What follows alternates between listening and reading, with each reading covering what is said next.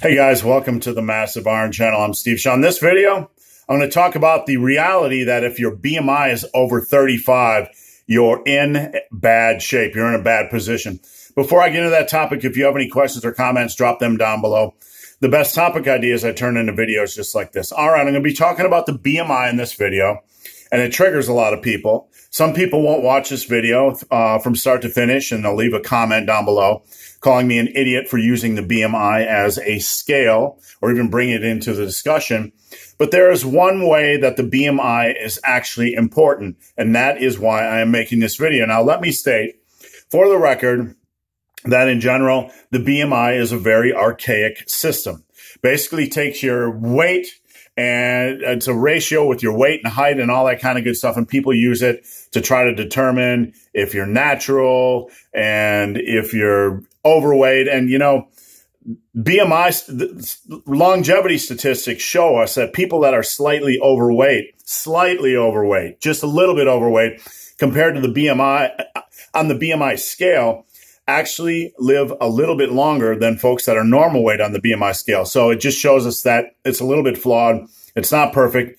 And it has a bad reputation in the lifting industry for good reason. Now, with that established, I'm not a fan of the BMI, but there is one way you can tell if you are in trouble. There is one valid way from a BMI standpoint that you know if you are in deep trouble. And that is if your BMI is over 35. Doesn't matter if you're muscular. Doesn't matter if you're fuscular, Doesn't matter if you're fat. Doesn't matter anything.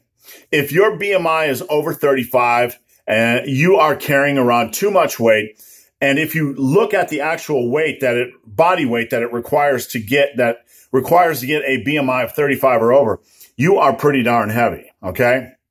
And longevity statistics tell us that men over the age of 50 that weigh 240, 250 pounds or more lose about seven years off their life on average. This isn't speculation.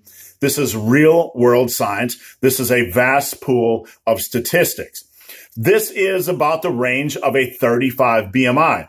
So if your body weight is at such a degree, such a level where your BMI is coming in at 35 or greater, you are at risk for dying early. You are. Now, there's some people that are watching this video that are lying to themselves right now, and they're like, you know, I carry around so much, so much muscle mass. That's why my BMI is over 35 and all that kind of good stuff. You know, um, you probably do have a little bit of muscle mass.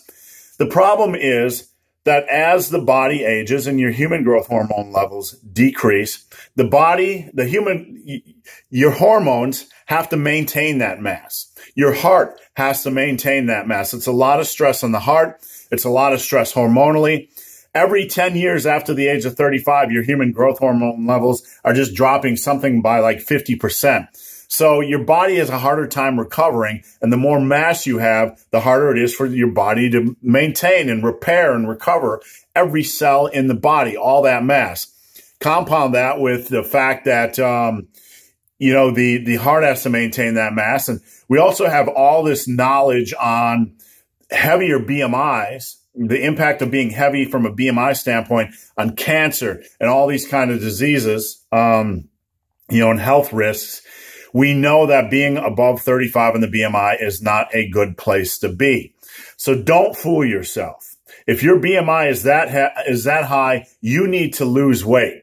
You need to get yourself to a healthier body weight. Forget that the BMI standard is crap. This is a really good tool, and it's about one of the only really good uses of the BMI. You can go measure your BMI today, and if it's above 35, it's time for you to look in the mirror and really get and ask yourself, is it time just to stop lying to myself, or is it time to lose weight? When you get above 300 pounds, and that's a much heavier BMI, um, you know, you're probably going to lose 10 to 14 years off your life because you don't really see a lot of 60 year old men over the age, uh, excuse me, over the weight of 30. So the BMI, if your BMI is over 35, time to go out, time to lose some fat. So guys, hope this video has been of some help. If you have any questions or comments, drop them below. If you made it this far in this video and have yet to subscribe to my channel, please do. I'd appreciate the support. So guys, as always, thanks for watching. Have a great day.